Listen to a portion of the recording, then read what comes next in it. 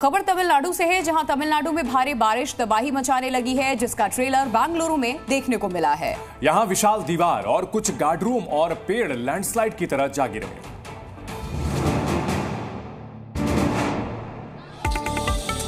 और नीचे मौजूद कंस्ट्रक्शन साइट पर ये पूरा मलबा जाकर गिरा। तस्वीरों में देखा जा सकता है सड़क से वाहन गुजर रहे हैं। सड़क के दूसरी साइड कंस्ट्रक्शन का काम चल रहा है जिसके चलते मिट्टी की खुदाई की गई। लेकिन भारी बारिश के चलते जो हुआ, उसकी कल्पना भी नहीं की होगी किसी ने। जरा तस्वीरों को गौर से देखिए। पहले पेड़ हिलना शुरू होता है, तभी सड़क के किनारे बने। गार्ड रूम धीरे धीरे अपनी जगह से खिसकने लगते हैं। यानी मिट्टी दरक कर नीचे जा रही थी और साथ में दरक गए दोनों गार्ड रूम और पेड़.